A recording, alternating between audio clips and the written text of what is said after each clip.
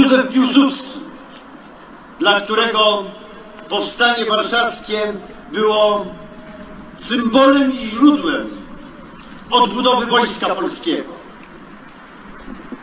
To Roman Dmowski, dla którego dziedzictwo powstania warszawskiego było symbolem konieczności odbudowy siły patriotyzmu narodu polskiego.